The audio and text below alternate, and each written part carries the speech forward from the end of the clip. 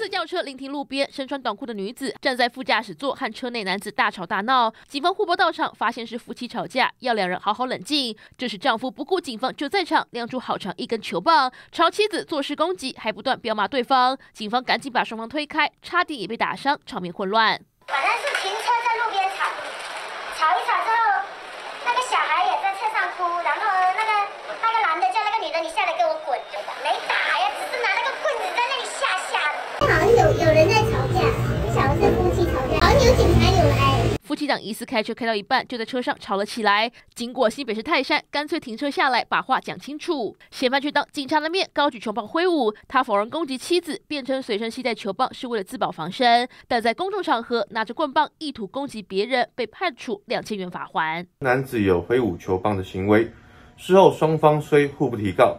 为此行为已违反社会秩序维护法。夫妻吵架非得动手动脚，虽然没打到人，妻子也不追究，但这个举动已经触法，再怎么生气也不能解决问题，自己反倒挨罚。记者黄天耀、陆雨欣曾报道。海皇 XO 干贝酱这一罐。很厉害，很威，好吗？它的蛋白质呢是鸡鸭牛啊虾的三倍，这么好的干贝酱去哪里买？是用上我们的中天快点购的电商的网站哈，搜寻你就可以找到喽。好，希望大家爱用哦。